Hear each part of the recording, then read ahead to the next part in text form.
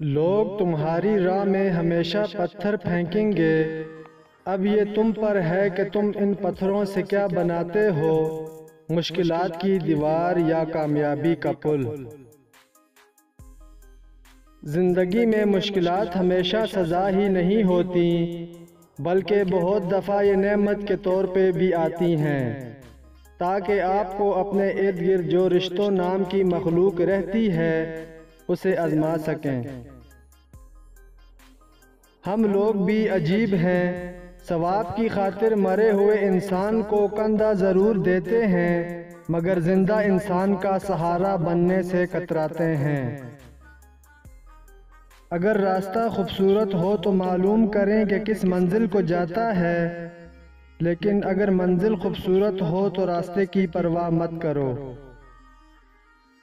मुश्किलात हमेशा बेहतरीन लोगों के हिस्से में आती हैं, क्योंकि वो इसको बेहतरीन तरीके से इंजाम देने की सलाहियत रखते हैं। कुछ आजमाइशें और मुश्किलात ऐसी भी होती हैं कि जिनके ख़त्म होने पे इंसान को एहसास होता है कि ये जहमत नहीं, बल्कि रहमत का बायस थी। ठीक वक्त पे किए हुए मुश्किल फैसले ज़िंदगी को आसान बना देते हैं।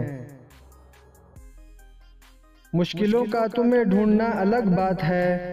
मुश्किलात ढूँढने खुद निकल पड़ना अलग बात है। जब तुम्हारी मुश्किलात हद से बढ़ने लगे तो समझ लो कि अल्लाह तुम्हें कोई बुलंद मकाम देने वाला है। बेशक मुश्किल वक्त बताकर नहीं आता, मगर सिखाकर और समझाकर बहुत कुछ जाता है। बाज़ ज़िंदगी में पेश आने वाली मुश्किलात हमें ठीक उस रास्ते पर डाल देती हैं, जिस पर आसानियाँ हमारी मुंतज़र होती हैं।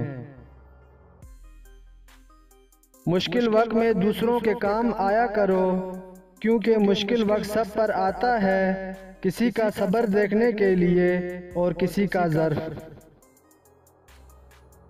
ज़िंदगी में अगर बुरा वक्त ना आए तो अपनों में छुपे हुए गैर और गैरों में छुपे हुए अपने दोनों ही छुपे रहते हैं। किसी ज़िंदगी में नाहक मुश्किलात पैदा करने से पहले सोच लें कि आप तो उसकी सिर्फ़ दुनिया खराब कर रहे हैं। लेकिन अपनी आखरत तबाह कर रहे हैं।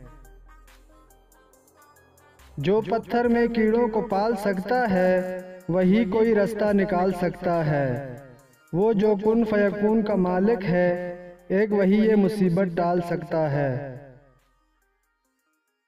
दुनिया में सबसे मुश्किल काम अपनी इसलाह करना और आसान काम दूसरों पर तनकीद करना है।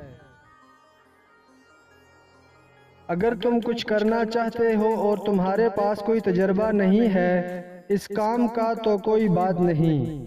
तुम ज़रूर कोई रास्ता तलाश करोगे। अगर तुम पूरी कोशिश करते हो और यकीन रखते हो खुद पर तो कोई चीज़ नामुमकिन नहीं है। वक्त को ज़ाया करना एक तरह की खुदकुशी है। फ़र्क सिर्फ़ इतना है कि खुदकुशी हमेशा के लिए ज़िंदगी से महरूम कर देती है। जबकि वक्त का ज़ाया करना एक महदूद अरसे तक ज़िंदा को मुर्दा बना देता है।